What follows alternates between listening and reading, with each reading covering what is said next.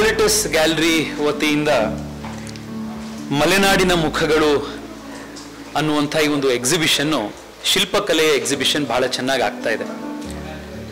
H N Krishnamurthy ಅವರು ಹಲವಾರು ದಶಕಗಳ ಕಾಲ ಮಲೆನಾಡಿನ ಸಂಸ್ಕೃತಿ, ಜೀವನ ಶೈಲಿ, ಅಲ್ಲಿನ ಸಂಸ್ಕೃತಿ, ಇದೆಲ್ಲದನ್ನ ಬಿಂಬಿಸುವಂಥ, ಬಹಳ ಅದ್ಭುತವಾಗಿರುವಂಥ ಶಿಲ್ಪಕಲೆಗಳನ್ನು ಇಲ್ಲಿ ಎಕ್ಸಿಬಿಷನಲ್ಲಿ ಇಟ್ಟಿದ್ದಾರೆ ಈ ಶಿಲ್ಪಕಲೆಯನ್ನು ಪ್ರೋತ್ಸಾಹಿಸ್ತಾ ಇರುವಂಥ, ಈ ಎಕ್ಸಿಬಿಷನ್ ಆರ್ಗನೈಸ್ ಮಾಡಿರುವಂಥ ಫಿಡಲಿಟಸ್ ಆರ್ಟ್ ಗ್ಯಾಲರಿ ಹಾಗೂ ನಮ್ಮ ಆತ್ಮೀಯರಾಗಿರುವಂಥ ಅಚ್ಯುತ್ ಗೌಡ್ರಿಗೆ ಅಭಿನಂದನೆಗಳನ್ನು ಸಲ್ಲಿಸ್ತಾ ಇದ್ದೇನೆ.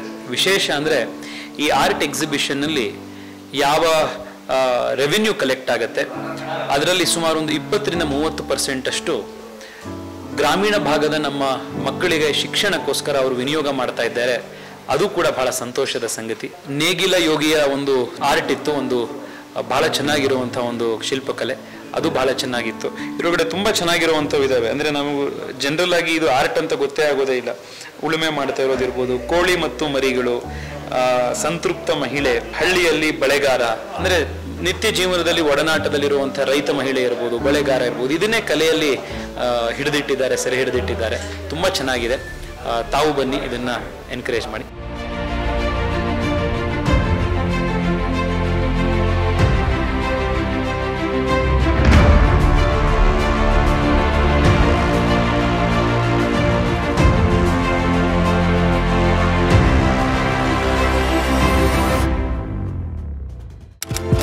For more videos, subscribe and hit the bell icon.